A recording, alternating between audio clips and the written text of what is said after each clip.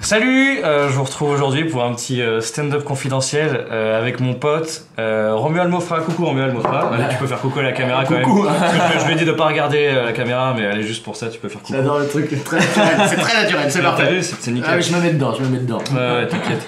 Alors c'est un stand-up confidentiel un peu spécial puisque dé- déjà d'habitude je suis tout seul. Ah oui. Euh, Bah oui. Ah oui, donc Ah, je, vois que tu suis pas du tout les Très bien, très, très bien, très bien. Non, d'habitude je suis tout seul. J'ai fait un spécial Avignon si tu l'as écouté le spécial Avignon. Mais bien entendu. Pas si, si, si. Si, oui, mais mais- bien sûr. J'ai suivi tes aventures, mon ami. Mais oui. Euh, et donc là, j'ai décidé de faire un petit épisode spécial euh, parce qu'on a une petite nouveauté cette année. Exactement. Mais déjà, avant d'en parler, euh, j'ai envie que tu te présentes pour les gens qui te connaissent peut-être pas. euh, on sait jamais. Ben, euh, je pense en que malheureusement, euh, même sur ta chaîne, il y en a pas mal, je, je pense. Euh, Je me présente quand face à la caméra ou non, je la regarde pas euh, ouais, non, Voilà. on se parle. Romuald Mofra, Romuald Mofra, moi je suis humoriste aussi, tout comme, tout comme mon ami Gabriel Frances. Nickel. Voilà, je fais du one man show depuis maintenant 6 ans, du stand-up, et puis je me balade un petit peu partout en France avec mon spectacle. Ouais.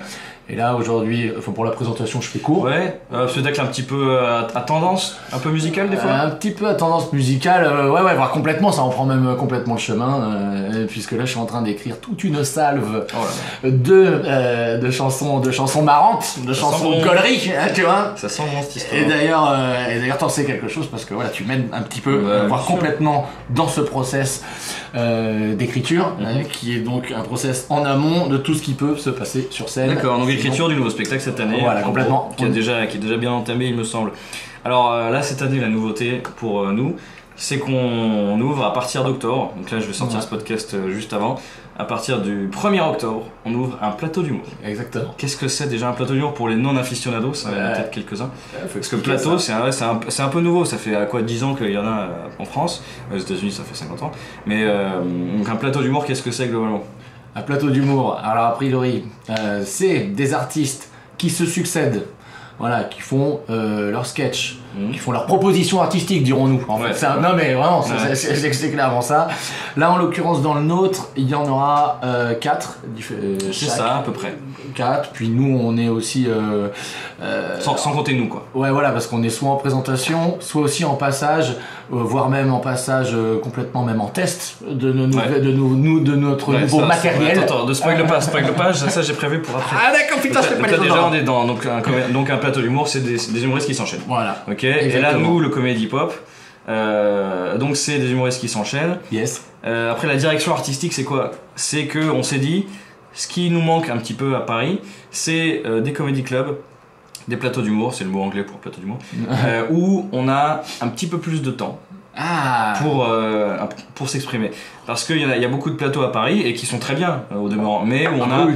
5, 7, 8, grand max, on a dit une fois, quelquefois 10 minutes. Et au cours de 10 minutes, c'est compliqué euh, de pouvoir tester beaucoup de choses parce que d'abord tu dois un peu choper les gens, donc peut-être que tu fais des blagues pour te rassurer un petit peu. Et après, euh, et après voilà, il te reste pas beaucoup de temps pour tester, puis après tu t'essayes de finir bien aussi. Donc là, nous on a dit, on met que 4 personnes, C'est ça. Voilà. on a une heure. Après nous on fait notre petite tambouille, Ouais, c'est tout. c'est vrai qu'on les a embrouillés en disant 5, mais t'as raison. Non, mais en fait 4. C'est 4 parce qu'en fait la cinquième ça sera souvent à C'est nous, en fait. C'est- voilà, c'est- Désolé, on se que du coup on est obligé de dire ce qui est grosse dire pour Oui, oui, non, parce qu'on va jouer aussi quand même. Voilà. Donc on invite 4 personnes, et ces 4 personnes, on leur dit, t'as jusqu'à 15 minutes pour faire ce que Ouais. tu veux. Et euh, d'ailleurs, tous les gens à qui on en a parlé en amont nous disent Ah, c'est trop bien. C'est Ouais, ce que j'attendais. J'en ai parlé à, à Certes Maturin d'ailleurs, je sais pas si. je- Non, je t'ai pas dit. Ouais. Certes Maturin qui fait le One More Joke, euh, excellent plateau d'humour euh, numéro. Ouais, très beau plateau. très, très bien, très, très beau plateau. Ouais, et je, lui ai- putain. je, je lui ai- je lui ai dit qu'il pouvait venir évidemment. Bien sûr. Et euh, quand je lui ai dit euh, 15 minutes et tu fais ce que tu veux, tu peux tester, il m'a dit Ah putain, trop bien. Et Il a lui- dit enfin. bah, il, bah, il m'a dit, il m'a dit exactement avec, avec, avec ce ton, oh putain, trop bien. Ah bah, Genre, c'est ah putain, le soulagement, c'est cool, je vais avoir un endroit euh, pour faire ça. Euh, et où vraiment euh, on prévient les gens que c'est comme ça. Parce que par exemple, au One More Joke, c'est un plateau qui, qui a maintenant une certaine répute. Ouais. C'est peut-être compliqué pour euh, certains de tester là-bas. Alors il y en a qui ont eu déjà une notoriété, donc ils s'en foutent, ils font, voilà, ils font Ouais, leur ouais, truc. ouais, ouais. Mais euh, quand t'es comme nous, pas encore euh, connu, t'as envie d'être marrant. C'est vrai qu'on en est là, nous. Bah oui, t'as envie de montrer, envie de montrer que t'es marrant. Tu vois, moi j'y ai joué là, lundi Et j'ai, euh, à part quelques impros, j'ai pas testé. Ouais, on fait, du, on fait du sûr quoi. Quand On fait du sûr, On fait du sûr, C'est ça, ça. le Ils connaissent tes abonnés, ils connaissent Ah ouais, les ils gens, connaissent, ça. on fait du Ah, ils savent, ils savent que quand on fait du sûr, c'est qu'en gros, faut pas se rater. Voilà, Donc ça. le coup du test de la blague, Non. on l'a fait que devant les potes, Ouais. on sait pas si ça marche sur scène, eh, on la fait pas forcément. Voilà, donc là, en comedy pop, euh, le, le truc c'est, on dit aux gens, euh, les gars, les, les, les gens qu'on invite, alors on invite par contre que des gens qui euh, ont un peu d'expérience. Comme- Ouais. Parce que comme ça, ça assure quand même un spectacle, même s'ils testent, on sait qu'ils tiennent, euh, qu'ils tiennent la scène. Voilà. Oui, oui, oui. C'est juste, c'était la condition. Parce qu'après, si tu dis on peut faire n'importe quoi, il faut, voilà, il faut quand même une certaine euh, équilibre, un certain équilibre. Eh, C'est-à-dire que nous, on se place vraiment dans un rôle où là, on, là, on propose un spectacle aux gens. Ouais. Donc, euh, c'est mieux pour tout le monde si le contenu euh, tient la route. Voilà, c'est Euh, ça. c'est aussi, il y a rien de, de, de- Oui, voilà, de- euh, y a rien de péjoratif Non, en pas fait, du dans tout, c'est pas du tout de l'élitisme, c'est euh, il faut que le spectacle tienne la route, donc on prend des gars qui ont déjà un peu d'expérience, qui peuvent se permettre de tester des trucs Il vaut mieux, et, que, et que ça fasse un Parce que des fois, même des mecs qui tiennent la route, ils peuvent se casser Bien sûr. Et ça, Ça- peut arriver. Ça sera Mais ils se rattraperont parce qu'ils ont du métier. Ouais, c'est juste ça la différence. J'ai confiance. Franchement, j'ai confiance. Ouais, alors maintenant, euh, la question prochaine que j'ai notée sur ma petite fiche, c'est. Pourquoi on a décidé de, de faire ça Pourquoi on a décidé de se lancer dans un plateau d'humour Voilà. à Paris euh, Bah, euh, c'est vrai qu'on avait. euh, enfin, en fait, il y a, y a- y a plusieurs, euh, il y a plusieurs réponses à ça en fait. Parce que, mais le premier, tout, enfin, tout tourne autour. Je sentais un grand mot, hein, mais tout tourne autour un peu de la liberté d'action. Hein. Ça, ça, Ouais, ouais. Non, mais vraiment, Ouais. c'est- un, un petit peu ça, quoi. Ouais. Parce que du coup, nous, on se retrouve, euh, on se retrouve pas dans un théâtre, mais on se retrouve dans un bar. C'est que des fois, euh, voilà, prendre d'assaut un théâtre, c'est pas toujours évident. Euh, faut payer des, bah, faut payer. Bah faut payer, Faut bah, le, payer le théâtre. nerf de la guerre c'est ça. Voilà. C'est- faut payer le théâtre des fois, donc mais ce qui est normal, hein, euh, on, on dit pas, c'est pas, euh, voilà, il y a pas de, de- de double sens dans ce que je dis, mais euh, mais quand tu payes un théâtre, bah des fois le minimum garanti euh, il est élevé, du coup les Un gens, minimum, minimum garantie pour expliquer. ah oui, C'est c'est c'est- vrai, c'est le- la somme qu'il faut euh, atteindre obligatoirement. Et Exactement. sinon, tu dois payer de ta poche pour atteindre ce, Ouais. cette somme. euh, et du coup, c'est, ça peut Ah, il y a tout un petit principe comme ça. Euh, et puis de toute façon, tout, tout est répercuté. Euh, vu que là, on est vraiment dans un podcast où on peut expliquer les choses. C'est vrai que c'est bien. On a, on a le temps parce que le temps. les gens ils aiment bien euh, avoir Ouais. ce- le pourquoi du comment. Euh, on paye un théâtre, ok. Du coup, il y a des recettes, mais pour les avoir, comme tout est répercuté en cascade, euh, fatalement, après la place elle coûte 20 balles, quoi. C'est ça, C'est ça. ça aussi. ça. Donc là, l'idée euh, d'assiéger euh, un bar, ça nous permet tout simplement euh, bah, une liberté euh, clairement économique en fait, quoi. Parce qu'on arrive, ça va plus vite. En plus, là, on a vraiment la chance d'avoir. euh, on parlera du bar, je pense après Ouais, peut-être parle juste, truc. juste après. ouais. Mais voilà, ça nous permet de mettre 45 places, euh, Mm. voilà, de manière bien. Les gens seront bien Et assis. ils payent pas, enfin, c'est ça un peu la répercussion. Et ça ils payent pas. L'idée, c'est que là, dans ce bar, dont on parlera après, mais j'en parle quand même un petit peu, c'est que l'entrée est gratuite. Qu'est-ce qu'on exige Euh, Une consommation obligatoire? Oui, c'est, classique. euh. En plus, là où ils ont du pot, les gens, et euh, je continue un petit peu avant le truc, mais Ouais. ça ouvre à 8h30, 20h30, 8h30, 20h30, et c'est pile poil en plein happy hour. Ouais. Donc euh, les consos, elles coûtent pas cher. Les consos Eh, mais je vais vous le dire, mais vous me posez la question, mais je vais vous le dire. Oui. Non, on est vraiment sur la pinte, la pinte de bière blonde, la pinte de bière de base. Attention, elle coûte 3 euros en 3 happy hour. euros. 3 euros en happy hour à Paris, dans le, arrondi- dans le 11e arrondissement, mesdames 3 et euros, c'est vraiment pas beaucoup. C'est que Et, dalle. les- et les bières un peu plus, euh, un peu meilleures, Elles sont à 4 balles 4 balles. donc ça va. La pinte. La pinte, on non mais on parle de pinte. 4 balles la pinte, c'est quand même incroyable. Donc euh, c'est ça, c'est que là, là on a essayé de faire ça, voilà, en gros pour arr- arrêter de, de, de, de payer cher ou en tout cas de faire payer cher au final euh, les gens Ouais, et de ouais. pouvoir du coup proposer des choses, euh, des choses nouvelles, des choses pas forcément 100% abouties, Ouais. mais du coup euh, on s'y retrouve, c'est équilibré parce que les gens ils payent, il y a un chapeau quand même à la fin parce que Voilà, je savais pas à quel Oui, moment t'allais. Oui, voilà. oui, bah, c'est gratuit, c'est gratuit. Excusez-moi le regard caméra, hein, mais, mais, la sortie est payante tout voilà, de même. c'est ça. mais euh, oui, non, mais on- ça c'est normal. Par contre, les gens connaissent le principe. Je Ouais, pense, on apprend rien. principe, on n'apprend rien. À la fin, il y aura un chapeau évidemment. En tout cas, ça permet à toutes les bourses de pouvoir assister un, Très élégant comme expression.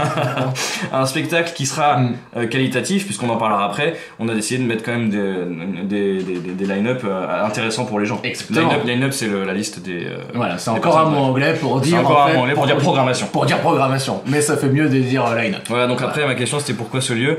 Euh, bah, Je te laisse ra- raconter vite Ouais, fait. bah, euh, bah, d'ailleurs, de toute façon, euh, ça- je passe un peu vite là-dessus pour Ouais. pas être redondant Ouais, parce ouais. qu'on a commencé à en, à en parler, tout cet esprit de liberté. En fait, liberté, c'était surtout une expression pour dire facilité d'action aussi, hein, Ouais, ça. ça. Et ce lieu-là, pourquoi? Moi, tout simplement, euh, bah, j'ai rencontré le patron, euh, voilà, qui s'appelle Denis l'année dernière. Et puis, en fait, le gars était tout simplement en demande. Hein. C'est- ça. Euh, voilà, moi, il m'a expliqué que euh, la vie d'un bar, bah, évidemment, du jeudi, vendredi, Eh ouais. samedi, on sait que ça sort, que ça picole, que c'est la Ouais. fête. Donc, en général, voilà, les établissements de fête ont des gens. Mm. Bah, maintenant, ils sont complètement friands. J'aime bien cette expression. Euh, non, mais de, de, de chercher des, des, des, des animations à proposer, euh, des divertissements à proposer du, Du lundi lundi, au mercredi. au mercredi où c'est un peu plus calme. Ouais. Et là, euh, quand nous on a parlé, moi il me connaissait un petit peu, enfin euh, voilà, il a regardé deux trois trucs sur internet, il me dit ah mais oui machin, t'es comique, ok, blablabla. Bla, bla, bla. Et, euh, et donc c'est là que je- il était en demande de ce fameux plateau d'humour. Et nous, on était en recherche, donc c'était. Et nous on vraiment, était euh, en... Oh putain, comment t'as bien fini Ah la bah, phrase attends, hein il- Ça a matché Voilà, C'est il un est petit animateur, celui-ci maintenant. Putain, il était en demande, on était en recherche, et là, bam, on tapé dans la main, et là, Bah ouais. Baboon, bam Ah, les allez. références des années 90. Ouais, bah, c'est mon anniversaire aujourd'hui, j'ai 30... bon euh, anniversaire, j'ai- bon j'ai- anniversaire, hein 34. Ouais, tu sais, enfin, sur la pointe des pieds, je vois la quarantaine quand même, hein. Euh, loin, loin, loin. Donc voilà, le lieu en gros c'est pour avoir de la liberté, pour pouvoir faire un peu ce qu'on veut, pour que les gens payent pas trop. Et, Ouais. euh, et d'ailleurs à terme, euh, j'espère pouvoir, alors je veux pas faire des plans sur la comète, mais j'espère pouvoir proposer d'autres formats dans ce lieu. Si, si, si vous venez, c'est ça. Il faut si, Ouais. si les gens viennent, c'est pour ça qu'on fait la vidéo. regard caméra de... de... Bah là, qui voulait dire bien. Voilà, j'essaie de, de- Ouais, mais il a raison, c'est bien. C'est que si, si vous venez, si les gens viennent, si les gens sont présents, après Ouais. on pourra proposer d'autres choses. On, va pas, on va pas faire des plans maintenant sur la comète, mais en tout cas, pourquoi pas euh, faire de ce lieu où on est libre, où les gens peuvent venir tous, euh, où euh, personne n'a besoin de, de payer Ou des, quasiment des que dalle. Voilà. Euh, tout le monde sera content. Ouais, c'est ça. Et j'aimerais bien faire des, des formats peut-être un peu plus longs, mais on va pas. Voilà, je préfère pas en parler pour l'instant parce qu'on sait pas. Mais si ça marche, euh, je suis chaud de ouf. T'es chaud toi Bah mais complè- ouais ouais complètement chaud. Non non mais même attends juste en une phrase tu peux leur dire parce que la, la- la définition du plateau c'est ça. Ouais. Tout le monde en gros euh, va jouer entre 7 et 15 minutes. Franchement carte blanche aux humoristes. Carte blanche, ouais. Et c'est pour ça que euh, nous on a un premier bon retour des humoristes, c'est ça qui enfin pour euh, voilà, vous mettre en confiance. non mais c'est vrai, les- les- les- comme les humoristes ont l'air d'être contents, déjà euh, j'ai envie de vous dire que la moitié du chemin est fait quoi. Et Mm. ça c'est cool. Et euh, bah voilà, s'il y a des gens et ben on a voilà, on arrive sur un projet viable et donc du coup on arrive sur ce que tu étais en train Oui. un petit peu de de voilà de de, de, dire sans le dire enfin Oui, bon, bah, je vais le dire parce que là ça fait. Mais oui, tu le dises. Alors j'aimerais bien euh, faire euh, des formats plus longs où on est soit deux, soit un. Ouais, ça. Si on fait, si on est à deux, euh, 30 minutes chacun par exemple. Ouais ouais ouais. On peut faire déjà nous deux, inviter d'autres à le faire. Des 30 30 comme on dit. des c'est 30, ça ouais, des 30 minutes, 30 minutes, c'est ça. Voilà. Euh, et, et moi j'aime même faire mon spectacle là-bas. Et puis pour et puis faire justement des espèces de euh, pré-showcase en gros Ouais. des rodages de Voilà. des rodages d'heures entières quoi. Des rodages, c'est ça. Ben parce que le gars il va se prendre donc une super salle à Paris bon je vais pas donner de nom mais bon vous les connaissez toutes quoi de toute façon euh, voilà les théâtres un peu cool euh, qu'il y a chez nous bon bah euh, bah voilà, euh, quand tu fais une première, ça on peut le dire, c'est intéressant pour les Oui. gens, quand tu fais une première, euh, bon qui plus est à Paris, parce que Mm. c'est complètement l'intérêt, Mm. euh, t'appelles un peu de presse, euh, Ouais. t'appelles un petit peu de producteurs, t'appelles un petit peu des, des gens, euh, voilà, les, les- copains, les, le réseau. ouais. influents de, de, de télé Ouais, pour te faire aussi un peu remarquer. Donc du coup, euh, quel que soit l'artiste, quel que soit son niveau de rodage, d'expérience, de toute façon, euh, il est serré. Hein. donc lui, il a besoin de roder son heure en amont.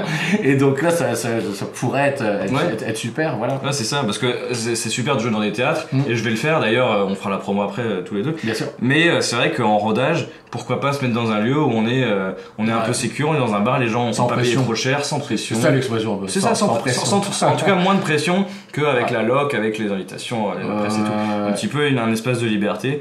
Euh, c'est un peu ce que fait euh, bah, tiens Lamine en ce moment là. Ouais, Euh, Naïm même. Naïm, putain, tu fais bien de me corriger parce que C'est toi qui m'as corrigé tout à l'heure. Alors, Ce qui est important, c'est pas surtout de pas dire le nom de famille. Voilà. Ah oui, d'accord. C'est Naïm Aka Lamine, qui a un, copain à nous avec qui j'ai travaillé et, voilà qu'on connaît bien. Bah, que les gens connaissent bien là. Que les le gens connaissent bien, et ben, connaissent bien. Bah, lui, il a, il, fait, il a fait son rodage. Bah, c'était au Scénarium au début, Exactement. qui est un bar, euh, pour pouvoir être chaud parce qu'après il va jouer à l'atelier, qui est une très belle salle. Eh oui. Donc là, il est au Scénar, il, est, il était au là, il est au 123 Sébastopol, allez voir, c'est vachement bien. Il y a peut-être quelques que je suis en première partie, donc c'est encore bon. Euh, et là, c'est une toute petite salle aussi, le Ouais. Sébastopol, c'est un tout petit truc de. de Ouais, il y avait place. quoi Ouais, c'est ça. Ouais, c'est du 30, 40. C'est du 30, 60. ouais, officiellement, euh, une vingtaine. Ouais, ouais. On rajoute des Bon, on petits bancs sur les côtés. bon, Non, on non, va pas dire les noms parce que ça se trouve peut-être que des gens regardent du fisc et, et, hein, on sait pas. on va dire que c'est une trentaine de places. Voilà. Et donc voilà, c'est- pareil, pour lui, c'est à son échelle, c'est un petit espace de liberté. Liberté pour pouvoir roder. Mais moi j'aimerais bien que ça le devienne, euh, ça le devienne aussi. Euh, ensuite, euh, bah, promo comédie pop, oui, je, je lis mes notes hein, mais mais c'est ça, c'est c'est le Promo du Pop, bah, c'est ça. Alors, la première, on dit tous les gens aiment bien ça, c'est ça. Les gens aiment bien, Tu, toi, tu dis ce que tu écoutes. C'est ouais, ouais, ça fait naturel. Ils sont derrière, ah, en fait, il a rien préparé, Non, euh, ce con. avec, avec un stylo qui marche pas et tout. C'est Euh, vrai, qui la marche pre- pas. la première. Ce putain de crayon. Ouais, le montre pas, il y a, y a une marque dessus. Euh, donc la première, c'est le 1er octobre. Exact.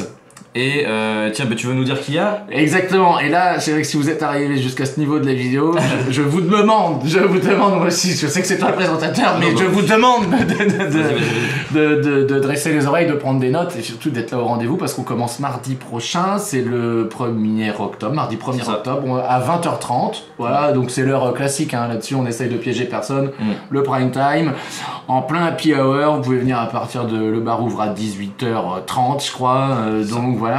Et on a un beau petit line-up pour commencer. Ouais, donc comme une petite programmation pour. euh, voilà, mais ouais, ils connaissent Ça, le mot, donc est, je vais le euh, dire en anglais. raison, t'as raison. Et, euh, et donc on aura euh, Joe Guérin, voilà, Qui est un, qui est un Québécois. qui est un Québécois et super, qui, ça. et qui pour la petite histoire qui nous a été donc préconisé je sais pas si on peut Ouais. dire ça comme ça pour des humoristes mais en tout cas c'est Tania Dutel aussi voilà qui sera là mardi Mhm.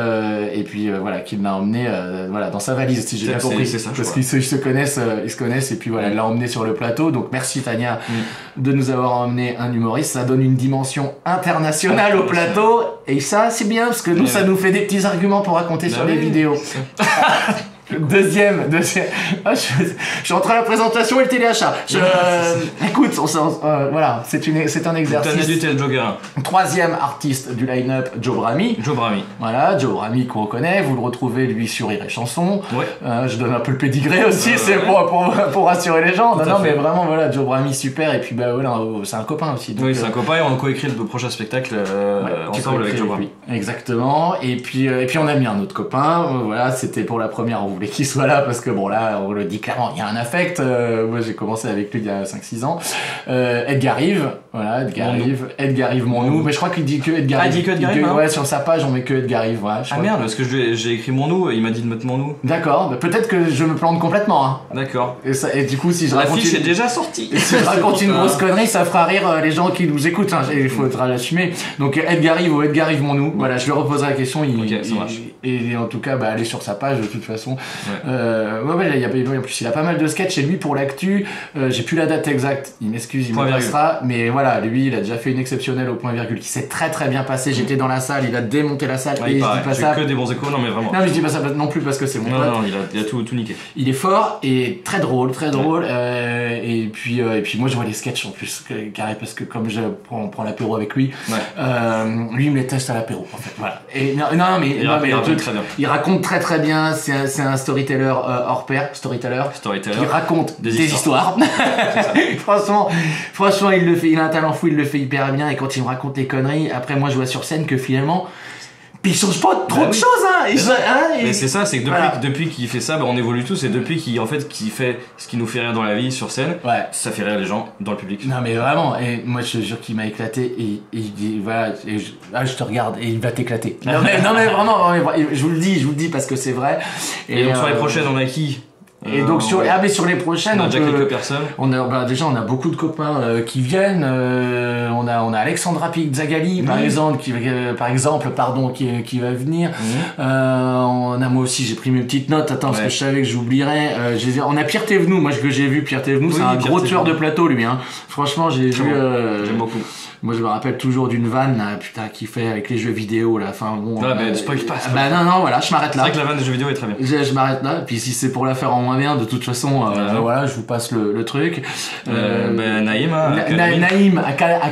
Lamine. Voilà, on en Voilà. parlait. Il nous fait l'honneur d'être sur le deuxième plateau. Ouais, on sait qu'il vient le 8. Ouais, il vient le 8. euh, Le, le 8, il y aura Pierre aussi, du coup. Ah, et donc, ouh, donc gros plateau. Ah oui. Gros plateau. Oui, et puis euh, même en Mais venez quand même le premier, hein. venez, et puis si vous pouvez pas le premier, venez au deuxième, au troisième. Troisième. De toute façon, euh, dans- j'ai plus dans l'ordre, mais on a, Yann Guillaume aussi. on a Yann Guillaume, Matt Guerredo, enfin que des, que des mecs très très drôles, euh, et des filles très très drôles. Ouais, et Maïma ouais. de Foucault, ça là, la deuxième aussi, qui est euh, ma partenaire de crime à Toulouse. Génial. hein. Et voilà. Ah, moi j'ai harcelé Guillaume Batz aussi, que Oui, je suis sûr qu'ils connaissent. Et, il m'a dit je viendrai, mais il m'a pas dit la date lui, donc ça sera surprise. Mais il viendra dans, faire un mais dans passage. tous les cas, on essaye de faire, de faire en sorte qu'on passe des bonnes soirées. Euh, donc vraiment, venez, venez à la première parce que ça va être la fête. Parce que la première, vraiment, euh, ça va être, ça va être chouette. Ouais, il y a un petit côté, euh, il y a un C'est petit côté, c'est la première. On sait pas trop ce qui va se passer, mais en tout cas, on sait que Mais ça va bien se passer- passer. Et à la première, euh, si vous êtes sage, Ouais. il se peut qu'il y ait même notre ami Sam Blackster qui va passer sur une prochaine en tant qu'humoriste, Yes.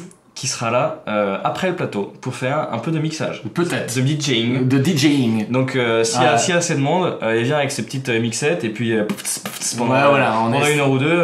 On a essayé de préparer quelque chose de sympa en tout cas. Voilà, on Ouais, essaie de préparer une petite, une petite fête. Enfin, on a essayé. On prépare On quelque prépare. chose de sympa. Après, faut Donc, juste- vous, en fait, il essayez d'être au rendez-vous, vous, parce que nous, on prépare un truc bien. soyez là. Après, ça se passe très bien. Et on va finir avec une micro-promo euh, un peu de nous, hein, tant qu'à faire. Ouais. Euh, toi, euh, je t'en prie. Ah bah moi de toute façon la promo ça va aller assez vite. Euh, Excusez-moi d'être redondant hein, mais je vous donne vraiment rendez-vous tous les mardis parce que comme on disait moi je suis dans un process d'écriture de nouveaux Ouais. spectacles donc là ma démarche est complètement assumée. Ouais. Est-ce qu'elle est rassurante? Oh elle, est complètement angoissante. Est-ce hein. qu'il se chie dessus Ah, Oui. Voilà je pense qu'il faut, faut le dire aux gens aussi hein. mais euh, donc du coup le, le fait d'avoir la, la- la chance et le privilège de co-animer de co-présenter ce plateau là avec toi moi ça va me donner une petite fenêtre, une petite fenêtre de quelques minutes Mm. tous les mardis pour tester mon nouveau matos et euh, franchement, voilà, je très content de, de, de, de, Cool. de, de tout ça. Donc c'est mardi, en Donc spectacle. tous les mardis, puis après en spectacle, euh, moi j'ai pas l'heure encore sur Paris, donc euh, voilà, je crois que je suis en tournée le mois prochain à Valence avec euh, bah, Donc, fait un spectacle, du coup, un- bah, un un- un- un c'est ça, un, un petit mix de l'ancien avec un petit mix déjà du nouveau. Euh, et puis pareil, je, je- je- écoute pour pas euh, dire n'importe quoi là sur le podcast, Ouais. likez ma page Bah ouais, Facebook. Ouais, comme ça, ça va plus vite pour la promo.